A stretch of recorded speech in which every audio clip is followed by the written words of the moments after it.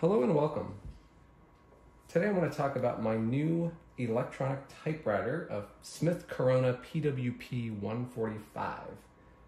Now, this is a typewriter that was made in 1992 and it is one of the electronic daisy wheel typewriters that came out during the end of the typewriter era. So, by that time, personal computers were pretty well established and the internet was starting to become something.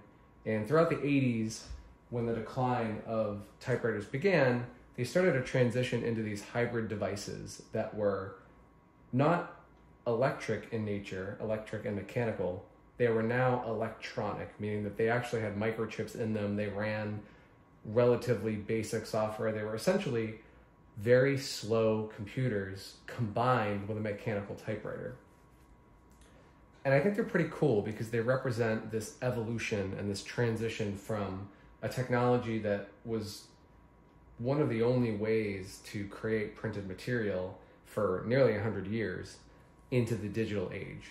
So I think these are really, really cool. Um, they're very easy to find online if you want to buy them. They are not very easy to learn about, though. There's not a lot of information about these, which is interesting because Smith Corona, Panasonic, Brother, uh, and other manufacturers made many, many, many, many models of these for you know 20 years or so. Uh, I remember seeing these at Staples, you know, in the late 90s when I was in middle school. They still had a couple electronic typewriters around that you could buy. Electronic typewriters are actually still used. Uh, they're used in areas, specifically in the government, where they have to fill out forms a lot. So they slide the form in and they fill out the form on a typewriter. But anyway, this is a pretty cool find for me and I'm pretty excited about it and I want to walk you through the features. So, as many electronic typewriters have, it has a case and a cover. It also has a little handle here. If I can find it. Little handle and make it easy to carry. It's not super heavy. It weighs, I don't know, 15, 20 pounds or so. So, not too bad. Not a, a laptop by any means, but not terrible. So if we take this cover off, we will reveal the keyboard and the screen. So it's a little bit interesting looking because it has keyboard. It looks very much like a PC keyboard. It even has the equivalent of a control key. This red code key makes these buttons that are in red perform different functions. It also makes these items at the top align to the number row. There's cursors, so you can move the cursor around, which depending on the mode you're in will do different things in your document. Um, and you can set tabs, you can do bold printing, you can underline stuff. There is a built-in dictionary and a spell checker in here that'll alert you if you type something incorrectly. This is a correctable typewriter, so you can actually erase things, which is pretty cool. Uh, you can save information, you can recall information. There's an address book that you can enter addresses in and automatically print labels and things. So it can do a fair amount. Uh, back in the day, the reason people would buy these instead of a computer was often due to price because computers were, you know, $1,500, $2,000, $3,000. These were in the two to five hundred dollar range, I believe. So if you needed to type documents, they were a much more economical way to do it, even when personal computers were showing up everywhere. They were showing up at homes, they were in businesses already, they were showing up at schools. A lot of people would still buy typewriters because they were cheaper. So let's turn this on and talk through some of the features. So you can see there's this little LCD display here. Mine doesn't really stand up. So the best I get is pretty flat. It has your old school contrast control, so I can bring the contrast all the way up and make it basically disappear. I can bring it all the way down and make it black. I can put it somewhere in the middle where it's readable for me. Uh, maybe not for you though. There we go, that's a little better. So this typewriter has two modes. It has what is called word processor mode, which is what it's in now, which is essentially treating it like a computer. and then it has type mode, which treats it like a typewriter. So let's let's just start with type mode. That's the part that is the least familiar to me. I've got plenty of experience with computers. I don't have a lot of experience with typewriters, so let's talk about that. So we'll flip it into type mode, and you'll see it still uses the screen in type mode. It shows you uh, your like a ruler, and it shows where your margins are, and it tells you what kind of settings it has. So whenever you turn it on and off, it forgets everything. When you turn it into type mode, it has default margins. It turns the spell checker on. Um, it turns caps lock off. Uh, and then the one feature that I always have to remember to turn on is this thing called auto return. So by pressing code and return, it turns auto return on. And what auto return does is as you get close to the right margin of the page, it will automatically return and go to the next line for you. That way you don't accidentally type off the page. So let's load some paper into this thing. So we do that by popping this open, pushing this back, and sticking in a piece of paper and using the paper in button, which will suck in the paper to the right place. And you just slap that in. So there we are. We have it loaded. So this is a daisy wheel typewriter. And what that means is in here, instead of your old school typewriters that had type bars that would come out and slap the page, this has a wheel that goes around. And whenever you type a letter, the wheel spins to the correct letter and it gets hit with a hammer, which hits this piece of film ribbon and actually imprints the character. And the film ribbon is not like your old school ink where it's you know wet and you can you've actually got ink on it and it kind of it can splatter and bleed onto the page a little bit. This is more like a laser printer. This is a piece of film and with pressure that film leaves a mark so it actually like smacks the letters out so if i type something like uh,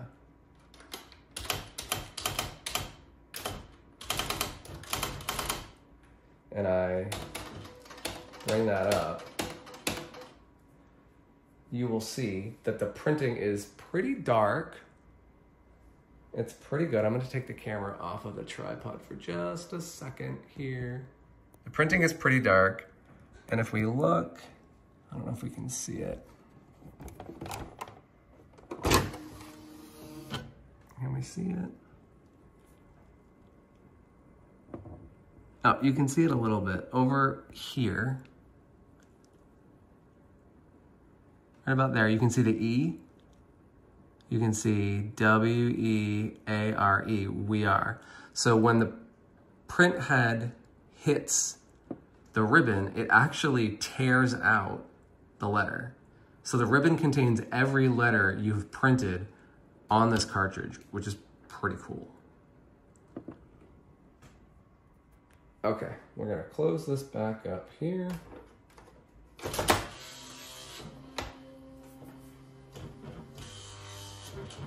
And I'm to do the fun part of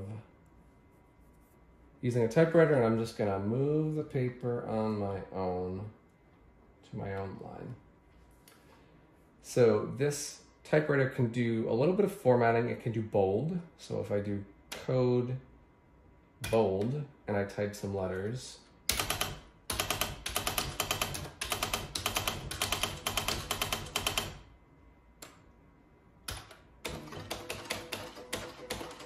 you can see it actually did some bold text. And it's interesting the way that it does that. It actually hits the letter three times. So it has to hit the ribbon, move it, hit the ribbon, move it, hit the ribbon of the film, move it again. So that's, if you're talking about usage of your ribbon, that uses up a lot of ribbon because it has to hit, it types three letters every single time. It also can do underlining. So it can underline just the words.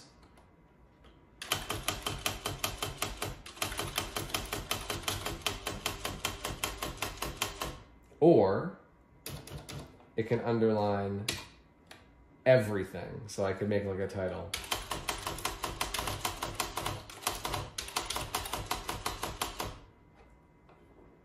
And if we bring that up, you can see the difference. So each word is underlined on the left, the whole title is underlined on the right. Again, controlled with a code key. I'm not exactly sure why some of the formatting is on the keys themselves. So like bold is on the B key, but underlining is way up here. I guess that's because this is a line and it is supposed to line up, but I don't know. It's a little weird for me. Anyway, so I find this kind of neat the way that it types. Um, it's cool to see what you're typing directly. The other thing that fascinates me about these, well, one thing is you can use these cursor keys, which is kind of neat. One thing that fascinates me about these is erasing. So if I make a mistake, like everyone's favorite TJE, one, you heard it beep because TJE isn't a word that's in its dictionary, so it thinks I spelled it wrong. So what I can do is I can have the typewriter correct that for me by pressing the correct button.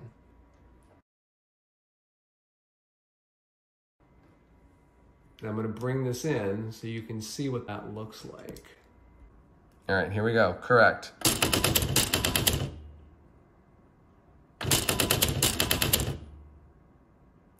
So it just, I was a character off. It just erased the E. Let's do it again. It just erased the J. So what that's doing is there's a second piece of ribbon in here called a correcting ribbon. And that is this thing over here, this guy, this like white clear thing. And what that does is it has a material on one side that literally rips the film imprint off of the paper. So if you look closely, you can actually still see the imprint, but if I type over that, you won't be able to tell unless you look really closely. And just like the film ribbon, the correcting ribbon also keeps a record of everything that it does. So if you took this typewriter right now, on the film ribbon, you could see everything I typed, and on the correcting ribbon, you could see every letter that I deleted that was ripped off. And in some cases, you might see entire words because this typewriter not only has letter erasing, but it also has word erasing. So it's kind of smart and it keeps track of the words you type. So if I fix this,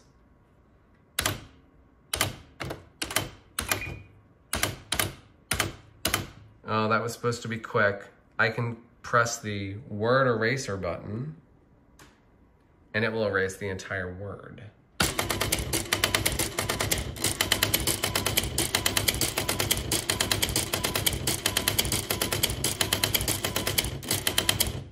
Bye-bye, word gone. And all of those letters are now on my correcting ribbon. Let's see if we can see them. Mm.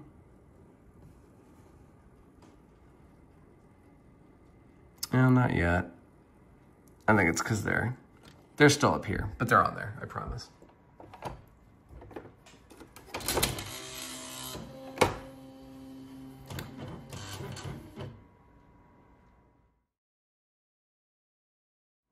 I'd like to take a moment to look closely at how this typewriter actually types a letter on a page. There's a daisy wheel inside, which is a wheel of different letters. There's a print hammer behind the daisy wheel, which hits one of the letters into the film ribbon, and then that hits with such force that it actually leaves an impression on the paper. I'm gonna show you that in slow motion.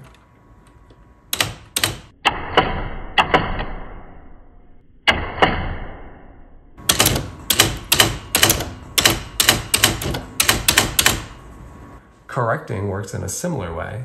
There's a separate ribbon that's kind of like a piece of tape that will be popped up and it'll tear the last letter off of the page, which is also a cool process to watch. So we're gonna watch that in slow-mo as well. So I'm gonna correct a letter.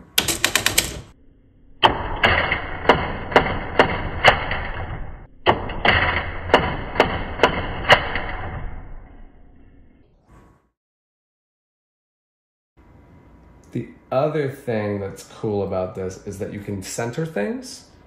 So if I go to the next line and I press code center, it'll actually put it into like quasi word processing mode.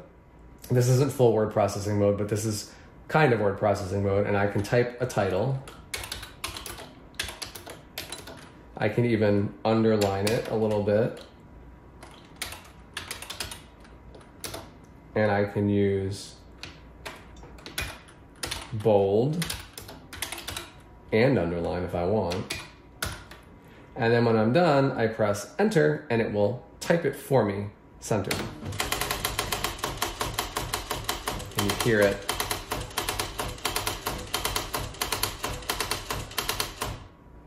And cats love typewriters, let me tell you. They think they're very, very cool. They like to explore. Let's switch to word processor mode. Again, I'm not a typewriter person, so I don't know a ton about the typewriter itself and using the typewriter features. But I'm very interested in the word processing and the hybrid nature of this. So let's put it in word processing mode.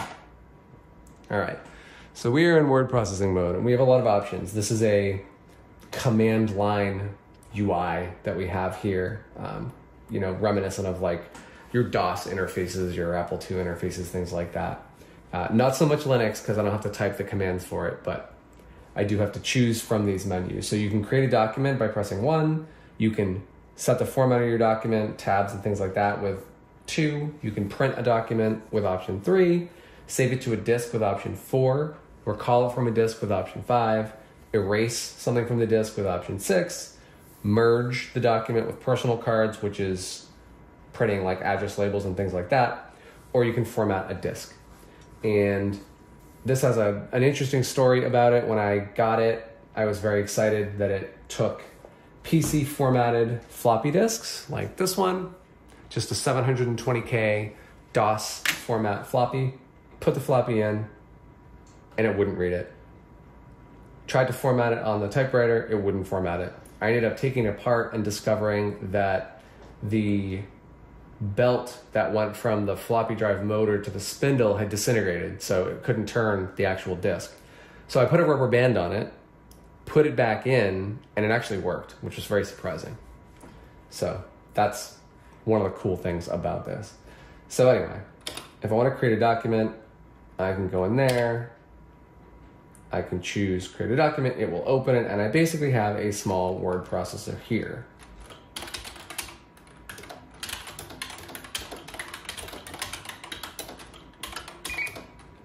Doesn't know what PWP is, so it beeped.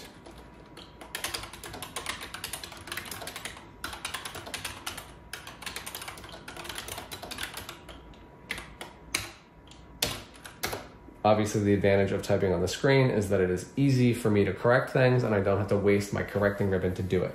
So I could type a very long document here if I wanted, and then I can save it by going back up to the menu by pressing code and tab because that's menu.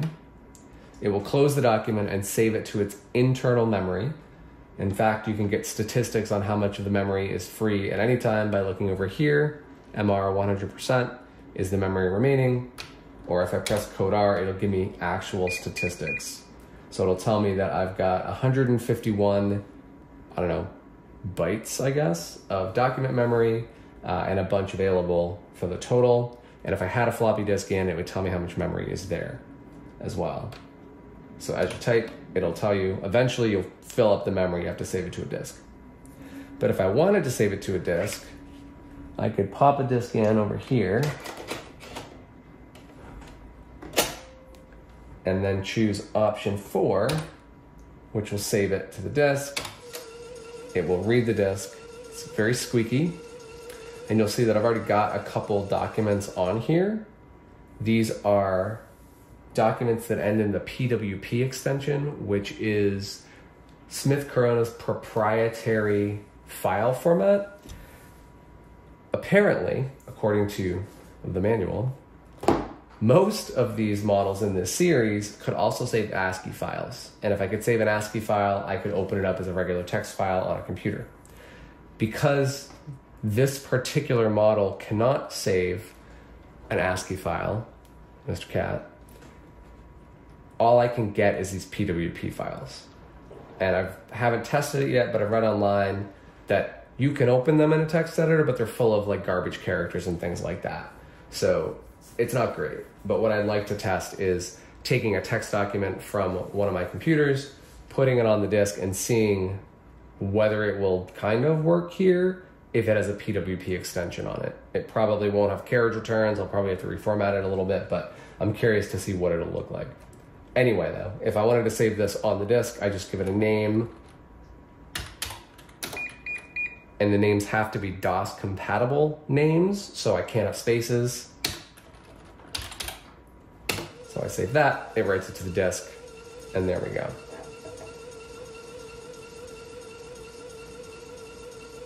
And it makes that horrible squeaking sound. So once I've done that, I can either, you know, read a different file off of the disk and load it in, or I can print. So if I move the paper a little bit, I go to option three, I say print. I can change some settings here if I want, press return when I'm ready, and it will print my beautiful document.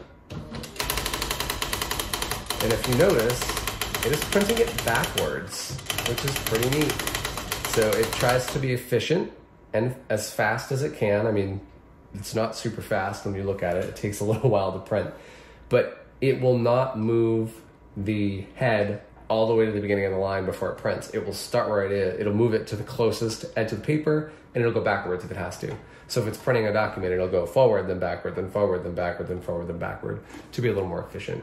And not every typewriter did this. I think in the 90s they probably did, but back in the 80s when, you know, these typewriters were competing with, you know, the IBM the IBM IBM Wheelwriter, the Wheelwriter didn't do that to my knowledge, at least the first versions. So I would have to go back to the beginning every time. In terms of printing, this is not fast for sure. So I want to show you quickly what this looks like when it prints a long document. Again, if you're using it as a typewriter and you're just having it print as you go, it doesn't seem slow. But if you're trying to print something that is saved, it it can definitely take a while. So if I load paper, get rid of this paper, and I put in a new sheet, and I put this into demo mode, you can see how long it takes to print what might represent a regular document. We have another cat visitor joining us. So get ready for this.